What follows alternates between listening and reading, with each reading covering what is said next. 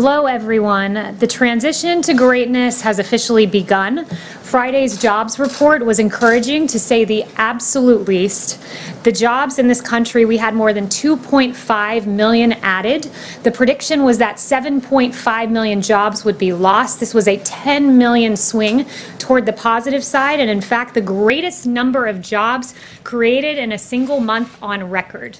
Uh, that is extraordinary. 225,000 manufacturing jobs, 464,000 construction jobs, and 1.2 million leisure and hospitality jobs were all added in May. Beyond that, the number of workers who reported being on temporary layoffs decreased by 2.7 million in May. Um, and more than that, and, and this was a great number that was pointed out to me today by the CEA, 300 300,000 jobs were created for black Americans in particular. Um, that's in May, and that was a 1.7% increase, so very encouraging numbers there from the CEA uh, that they highlighted for me, uh, BLS numbers that they highlighted. May's jump in average weekly hours um, also is an encouraging sign because increasing hours is a sign that employees need to hire, employers need to hire more workers to meet demand. For all private sector employees, average weekly hours increased by 0.5% to 34.7 hours, the highest level since the series began in 2006. 73% of small businesses are open. That is up from the 52% right before the April jobs report reference period. Also, workplace visits are up roughly 40% from its pandemic low. The stock market is absolutely soaring. We saw with the S&P that it had its greatest 50-day rally in history. The Dow likewise is also booming. The markets clearly have confidence in President Trump, the jobs president who created the hottest economy in modern history once and will do it again. Also, commentators and economists have noted how great this jobs report was. Yesterday, we saw Mohamed El-Erian, the chief economic advisor at Allianz, say this will go down in history as the biggest positive data shock for the markets and the economy, and you saw how surprised the markets were. They surged on Friday, capping a strong week with the NASDAQ closing at a record high. He said it was also very surprising to the economists. Not a single one thought that we would create jobs. Everybody expected the unemployment rate would go up. It did not. Also, senior economic correspondent at the New York Times, Neil Irwin, noted that we have to think that the May unemployment the May employment numbers count as a strong win for PPP supporters. Obviously, the president signed that into law and has been a, been a big cheerleader of the PPP. Typical economists missed it by 10 million, as I noted at the top of the briefing. 10 million. That's bigger than the entire state of Michigan, nearly, and that's how much economists were off. Why is this happening? Well, it's happening because America has taken note of the fact that we have a president who ushered in the hottest economy in modern history, record low unemployment for black Americans, for Hispanic Americans, for the disabled, for our veterans. Paychecks were beginning to, to rise under the President Donald Trump economy. Uh, we have the great jobs creator in office, and America clearly has confidence in this president. Uh, you have a president who fundamentally understands how to put this country back to work, and we saw that in action with the Friday jobs report. And with that, I'll take questions. Okay. So start with John. Kayleigh, what, what's the president's thinking on this growing movement to either defund or dismantle police forces across the country? And what reforms does the president think would be appropriate in the wake of the George Floyd killing? Yeah, it's a really good question. Uh, the president is appalled by the defund the police movement. The fact that you have sitting congresswomen wanting to defund the police, notably Rashida Tlaib, notably Biden advisor AOC Alexandria Ocasio Cortez, a former Clinton and Eric Holder spokesperson Brian Fallon, wanting to defund our police across this country, it is extraordinary. And when you think the left has gone far and they couldn't possibly go farther because we all remember the defund ICE movement. They want to def- defund immigration and custom enforcement, and now they want to defund the police. This is extraordinary. This is rolling back the protective layers that protect Americans in their homes and in their places of business. He's appalled by it, and it's uh, remarkable to hear this coming from today's Democrat Party. As for solutions, um, he's talking through a number of proposals, no announcements on that, but he definitely, as he's noted, recognizes the horrid injustice done to George Floyd and is taking a look at various proposals. Does the president agree with any of the mayors across the country who are saying, I think we can take some of the money from policing and put it toward other programs that could be effective in community development, which could lead to the potential for a a lesser need for policing. Well, let's be clear. If the mayor of LA wants to defund police, take money away from police, Mayor de Blasio, the mayor of New York, wants to take money away from police, that means cutting of police. That means reducing police departments. That means defunding police departments, if not getting rid of them entirely. No, he does not agree with that. And the rest of America does not agree with that.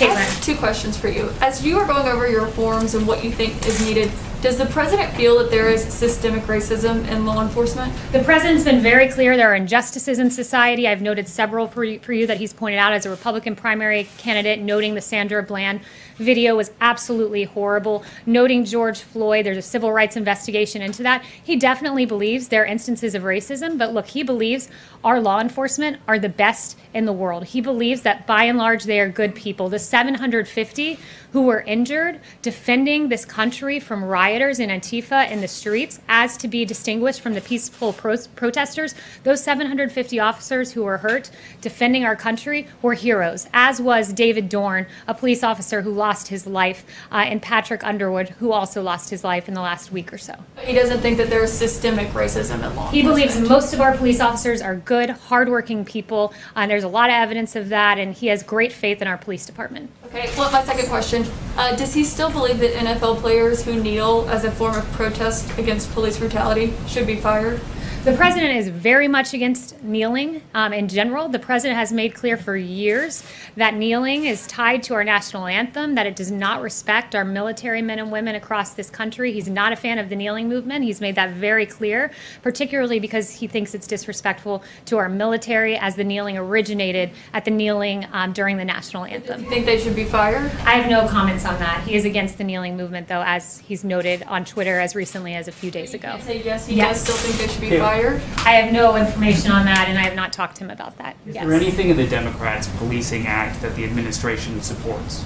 Yeah, th- that legislation, first of all, the text of it hasn't even been giving, given to us. Um, I've not talked with the president about that yet. He hasn't reviewed it yet. He's looking at a number of proposals, um, but there are some non-starters in there, I would say, particularly on the immunity issue. You had AG Barr saying um, this weekend he was asked about reduced immunity, and he said, I don't think we need to reduce immunity to go after the bad cops because that would result certainly in police pulling back, uh, which is not advisable. So he hasn't reviewed the legislation, but AG Barr, as a member of the administration, noted this prior to the proposal coming out. Does the administration support the banning of the use of chokeholds? Look, the president, again, hasn't reviewed this piece of legislation. Um, the president is looking at what's a state issue, what's a federal issue right now. He's currently reviewing proposals, actually, on this very topic about police reform. So I'll leave it to him and not get ahead of him on that. But certainly, we believe that the appropriate amount of force should be used in any police interaction uh, with an individual. But two weeks after all of this civil unrest, why does the White,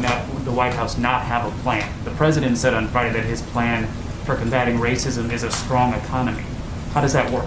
Look, that's an important part of combating racism is, is making sure that there's equal opportunity um, for black Americans in this country. This president, you know, we hear a lot of words from Democrats about criminal justice reform that they wanted this. Well, they got it with President Trump um, reducing racial sentencing disparities via the First Step Act. You know, Democrats talk about economic opportunity for black Americans um, and people in vulnerable communities, and this president um, has done that with opportunity zones. It was a good start, more than 900 places, creating private investment to uh, help people get on their feet to start businesses in this country. HBCUs, record funding. This president has repeatedly, through his actions, uh, stood up for the black community, and a big piece of that is absolutely economic reform. And I'd finally note on the point of economic reform, uh, the USMCA, these trade deals, the TPP, making sure that didn't take place, that directly advantaged hardworking men and women in Detroit who wanted their auto jobs. So the, his re- reformation with trade, reformation with trade, and also opportunity zones is helping to um, ensure that Americans of all races have the same opportunity in the economic playing You're saying he will eventually have a police reform plan. He's looking at various proposals, so I won't get ahead of him. No announcements on that front, but he has been looking at them over the last few days. Yes. Yes. Caitlin, uh, there are reports that the administration is going to be pulling troops from Germany. Can you say how many And when and where are they going? Yeah, what I would say on that is first, we have no announcements at this time. I know there's reporting out there, but as of this moment, there are no announcements. Um, the president's continually reassessing the best posture for the United States military forces and our presence overseas. I mean, we remain committed to working with our strong allies. Will he consult Angela Merkel before making a final decision? I'll leave that to the president. Again, no announcements at this time. And just one final, uh, the new Lafayette Square fencing, do you have any uh, indication on when that might be removed or or taken down since the protests have become uh, more peaceful? And who who makes that decision? Yeah, you know, I, I don't have any announcements with regard to the fencing. That's not something that's in White House control um, in terms of securing the perimeter. But what I would say is the president has recognized that the protests have largely been peaceful. Why have they been peaceful? It's because of the actions taken by this administration. If you'll notice, Minneapolis was in chaos until the National Guard came in, and then it was secure. You had outside here in Lafayette Park, I noted the 750 uh, law enforcement officers that were injured across the country. Well, one fifth of those were in D.C. and the vast majority in Lafayette Park. Um, and once the National Guard came, came in, D.C. was secure. That Monday decision by the president of encouraging governors to surge the National Guard made the difference. And the president's recognized now that the protests are peaceful. He's recommended a winding down of the National Guard, very peaceful protests over the weekend. So, with regard to the security of the building, not a decision for the White House, would refer you to Secret Service and Park Services on that. Um, but the president has recognized the peaceful protesting and um, is encouraged by that. Yes, Jen. Uh, Kayleigh, on Hong Kong, can you say when will the administration revoke um, Hong Kong's uh, trade status? And also, do you think that that move would be the only thing the administration does? Is there something else planned? And do you think that China will listen? Are you seeing any signs of China relenting on Hong Kong? Yeah, we haven't seen any updates from China thus far. Um, no announcements with regard to the timing of that, but the president has been very clear that China has replaced its promise of one country, two systems with one country, one system, which is what led the administration to make the announcement that it would begin eliminating policy exemptions uh, that were given to Hong Kong, uh, the special treatment that they once had. Kayleigh? Yes, Steve. Is, is there any, um, a week after what we saw in Lafayette Park last Monday night, are there any people here in this building who believe that, or does the president believe that perhaps things went the way they shouldn't have gone? Uh, Is there any regret on the part of the president or anyone here about how people were treated, people who were peacefully protesting, and how they were rushed out so violently? No, there's no regrets on the part of this White House because, look, I'd note that many of those decisions were not made here within the White House. It was AG Barr who made the decision to move the perimeter. Monday night, Park Police also had made that decision um, independently when they saw all of the violence in Lafayette Square. Um, and when, before these protesters were moved by Park Police and they issued that tactical order, there were three loud warnings. And as I believe it was AG Barr on Face the Nation noted, um, that some of those protesters moved back and adhered to the warning, but others of those protesters started hurling objects, and that was unacceptable. And Park Police acted as they felt they needed to at that time in response, um, and we stand by those actions. the, the country and the world saw th th this violent clash between people who were otherwise peacefully protesting. But really, the president is not sorry for the way things went? No, the president is sorry about uh, the fact that Antifa wreaked havoc in our streets and the failure of some members of the media to note that. Like CNN's Chris Cuomo said, Show me where it says protesters are supposed to be peaceful. Um, well, I'd point him to the First Amendment where it says that you have the right to, quote, peaceably assemble. He should go back and read the Constitution. Um, there are many others out there, like Don Lemon, saying that rioting is a mechanism to restructure our country burning down St. John's, using uh, a pick to, to literally like carve out, as we saw in that video, uh, concrete from the sidewalk to hurl at officers, that's not peacefully protesting. The actions of, actions of the rioters were not in keeping with the First Amendment. And I think the media needs to recognize there's a discernment between the peaceful protesters, many of whom I've seen, and the rioters. And yes, America will act against rioters. And yes, under President Trump, he will not allow burning buildings, 150 federal buildings to be defaced, and 750 law enforcement officers to be injured in our country. Can I ask you one more about the Yes, president? Ryan. Just oh, I like the blue suit. Oh, thank- thank That's a really snazzy look. Yeah. Just to follow up on that, um, you, you do know that the burning of St. John's happened on Sunday nights, and a lot of the violence that you're talking about, that happened on Sunday night. What he was asking about was Monday, when, as anyone who was down there knows, it was um, almost exclusively peaceful, especially in the moments before um, the chemical munitions were used on those protesters. So, do you just want to clarify that about the burning of St. John's? Because that happened on a different day. Yeah, the burning of St. John's is what prompted the decision to move the perimeter. It's what prompted Park Police to say that evening the perimeter must be moved. It's what prompted, yes, it's what prompted AG Barr to agree with that decision um, on Monday morning that the perimeter needed to be moved. Uh, but when you hurl objects at Park Police, when you don't move after three orders are given, uh, Park Police acted appropriately. When the shield of Park Police was batted down, when one person tried to grab a park police officer's weapon. That's not peaceful by any definition of the word. And one question on Yeah. the, the area in front of the White House is now officially known as Black Lives Matter Plaza. Does the president agree with that decision? I haven't talked to him about it. Haven't mentioned that to him. Yes. Kayleigh, does he agree in general the way that Mitt Romney stated over the weekend he does with the core message of Black Lives Matter?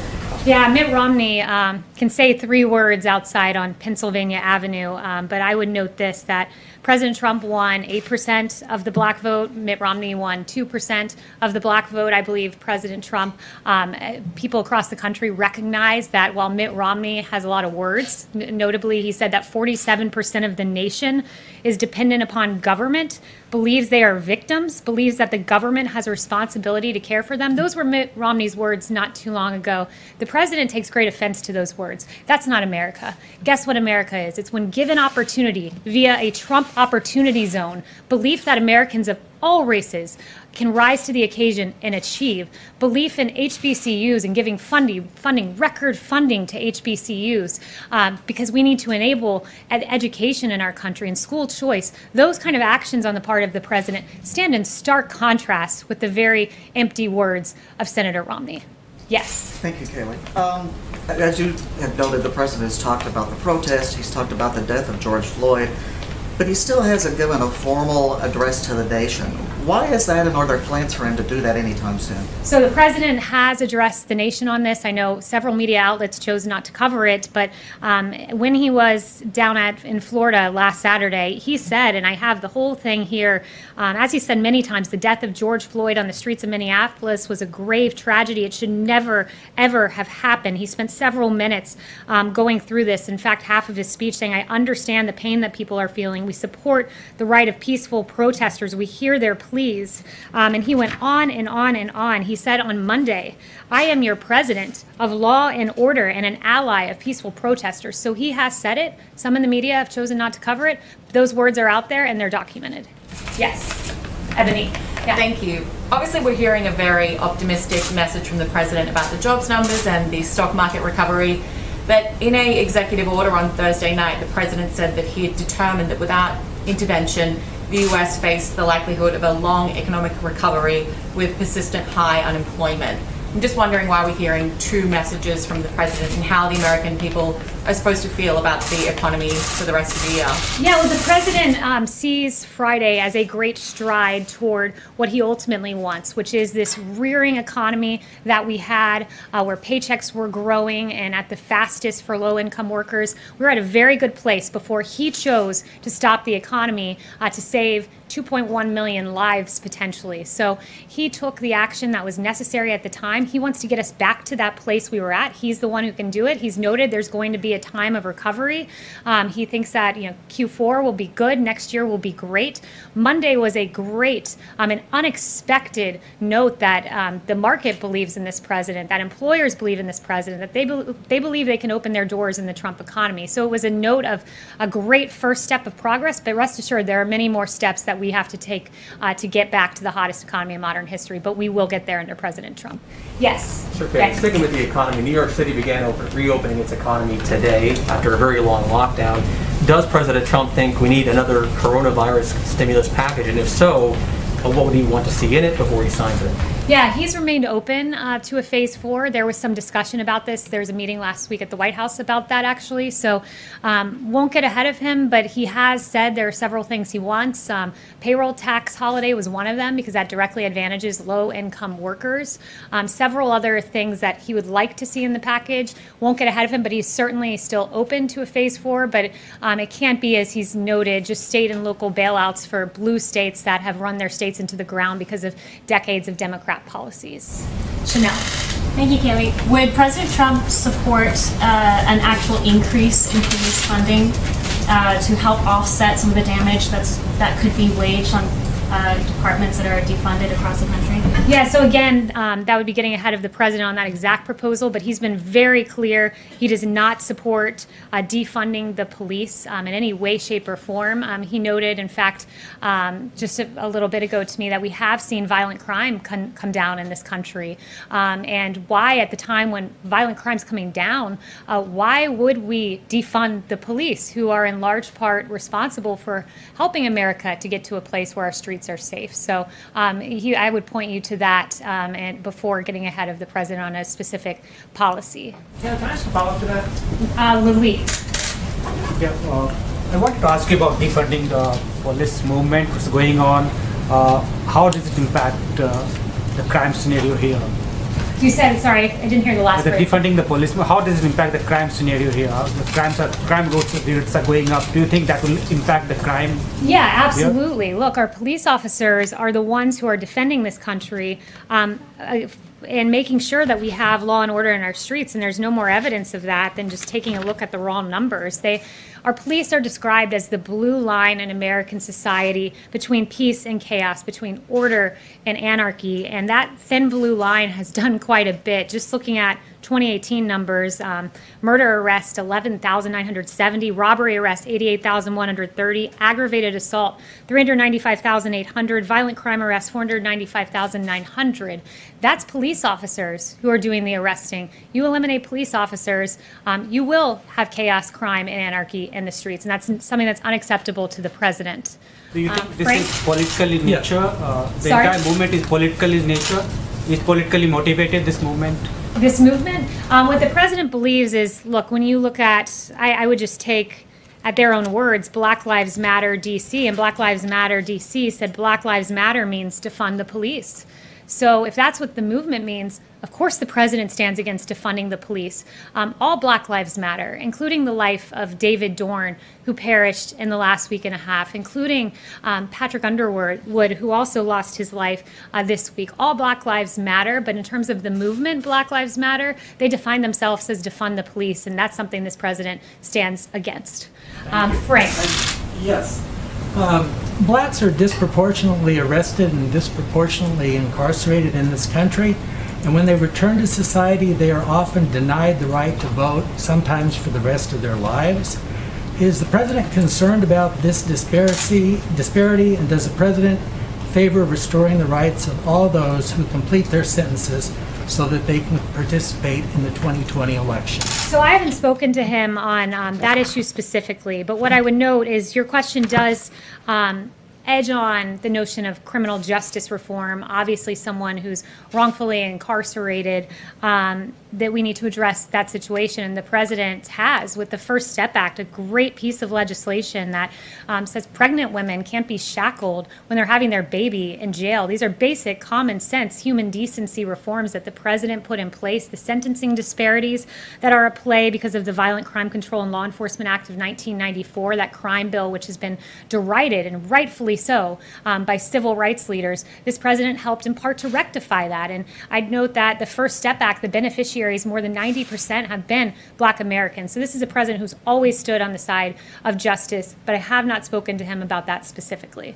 Um, is there Could- anyone could who I haven't about- gotten to? Could you ask him about Uh, that? Emily. Thank you.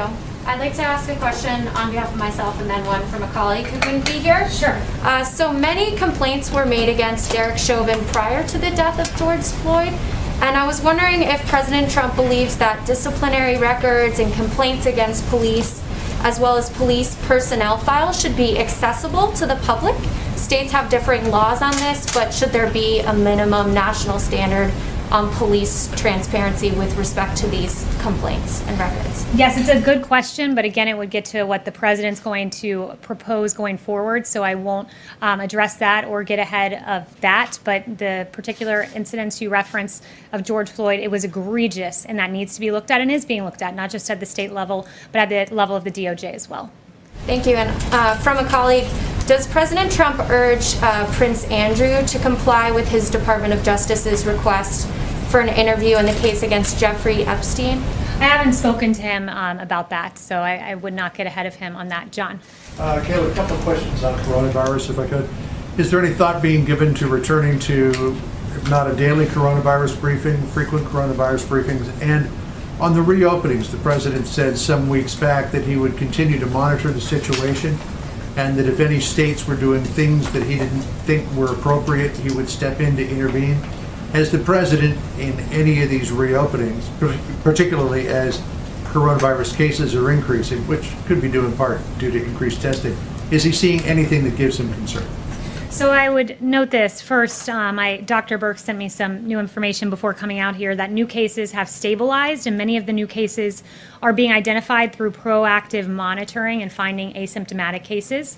Uh, today, we saw the lowest new mortality report since the end of March, less than 500, um, and testing continues to expand with over 20 million done and more than 6% of Americans being tested, and in seven states, nearly 10% of the population. So we are heading in a positive direction even as we begin to safely reopen. But again, has the president seen anything that causes him concern? I would note again the encouraging signs put forward by Dr. Birx. Um, he's seen the country safely reopen. And I would also just note some of the media contradictions here, certainly not referring to you specifically, John, but just a little more broadly um, that there isn't um, an outcry about social distancing among the protests. And I mean, I saw one network with footage of the Ozarks and um, complaining about social distancing in the Ozarks and then seamlessly transitioning into protest footage and not suggesting that there was a problem with the lack of social distancing. So I think we have to be very consistent um, here. And one note that I, I really wanted to get in, um, should have weaved it in earlier, but I think it's important, is just there's so much focus on our police officers right now. There are absolute cases of injustices. Our heart breaks for those cases, but I just want to note um, some of the great things our police have done last year alone. In Alaska, uh, retired cop Kim Castro jumped in freezing water to help victims to safety after a plane crash. In Idaho, a woman said, He saved my son's life, commenting on a cop who saved her disabled son. In Maine, a detective uh, was killed while helping a motorist in Rhode Island. A baby who was choking was saved by an officer in Maryland. An officer was hailed for intervening in an active shooting incident. North Carolina, police thwarted a mass shooting. In Ohio, police took down a mass shooter at a bar.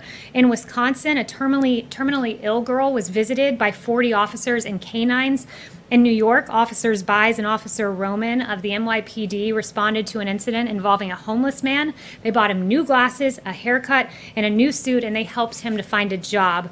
In Detroit, Michigan, an officer helped a homeless man struggling to shave in the streets. In Virginia, officers could be seen playing with little girls, playing dolls with them on the street. And in Arizona, Charlie called 911 asking for a Happy Meal mistakenly, mistakenly and police delivered. This is who our great law enforcement officers are, um, and we should remember that. Thank you so much.